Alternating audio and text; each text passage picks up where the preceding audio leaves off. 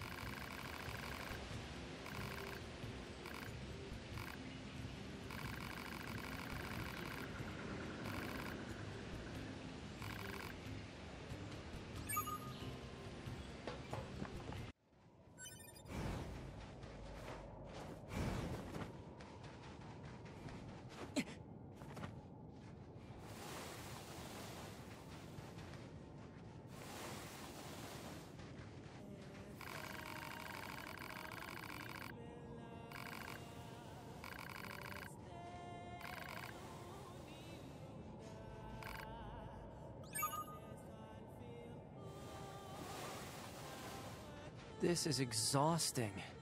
doesn't care at all about anyone but himself. And yet his followers just keep talking about how great he is. What's the point of all this? And what's he even getting out of it? Maybe you should ask him.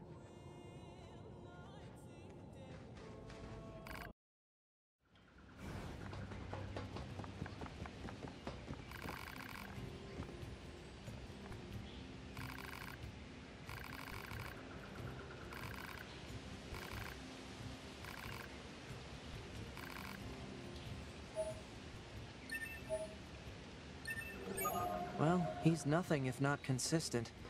A weirdo right to the very end. I wonder if all his followers being female had something to do with his weirdness.